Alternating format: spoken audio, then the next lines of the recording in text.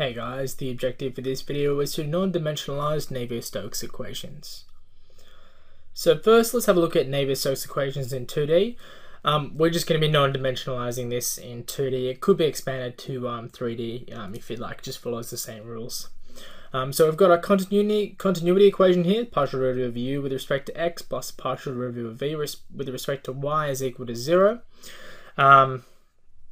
And here's your x momentum and y momentum equations that you should be familiar with.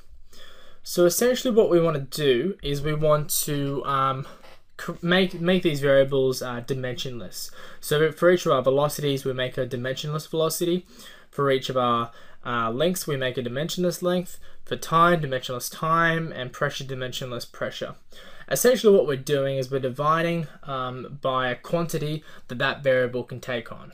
So that might be something like the initial pressure, uh, might be a time at some specific point, or a length that it takes on, or the length of the tank.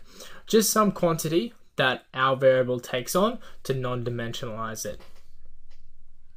And the next step is to then rewrite terms with these new new variables. So something like the partial derivative of u with respect to x, what we can do, so if we go back up um, to uh, u here, we can rewrite